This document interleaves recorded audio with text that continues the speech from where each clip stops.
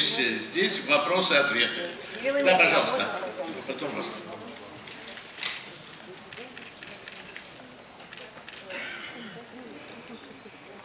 Здравствуйте, Алина Краснова, космо.ру. У меня вопрос лично к исполнителю роли Федора Александра Яценко. На мой взгляд, э, у вас наиболее драматичная роль в этом фильме. Не могли бы вы рассказать, как вы пережили ее и что вы вынесли лично для себя после исполнения роли нашего героя? Спасибо. Ну, как-то пережила я это все, слава богу, удачно. Вот. А то, что вынес, понял, что вообще надо над собой работать, вот, трудиться. Спасибо. Спасибо. Да, сюда, пожалуйста. Маша Варата Свобода, я где-то слева от вас да, сориентировалась. Спасибо вам большое всем, родные и любимые. А вопрос у меня, наверное, будет попроще, чем у всех остальных.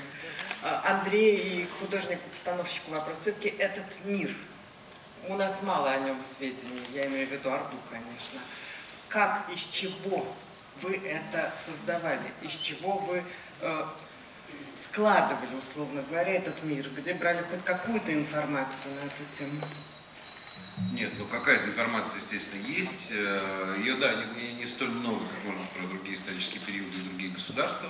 Мы изучили все, что мы смогли достать, у нас были консультанты. Для меня лично самым полезным э, оказались воспоминания путешественников, как европейских, так и арабских, которые попадали в Золотую Орду, в Усть-Джучи, э, видели, видели это. Вот. Плюс есть, есть раскопки, есть какие-то сохранившиеся вещи, но, честно говоря, мы не ставили себе целью делать такую, знаете, скрупулезную историческую картину. Вот у Юрия Николаевича был в сценарии, была в такая ремарка. Показался глиняный город, которого, я, я, к сожалению, вот волнуюсь, поэтому не точно цитирую, которого уже никогда не было, уже никогда не будет на Земле, а может никогда и не было. Вот это вот ощущение некой фантастичности, поскольку все-таки мы снимали миф, а не прямую историческую картину, для нас было очень важно. И мы со всеми нашими художниками, в первую очередь, конечно, на мой взгляд, просто фантастическим художником Февралевым, очень много работали именно вот в этом направлении. Мы создавали скорее образ, ну, не знаю, такого несколько марсианского города для нашего, для нашего э, глаза.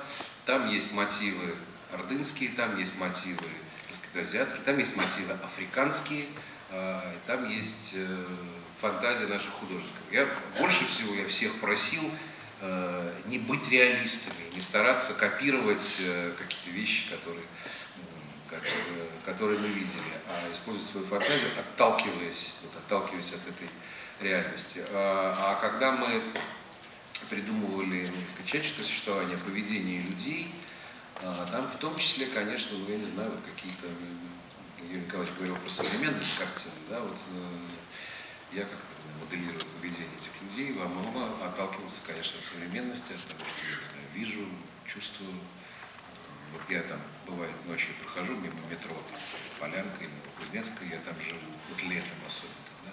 Вот там очень много можно подчеркнуть для, для нашей картины.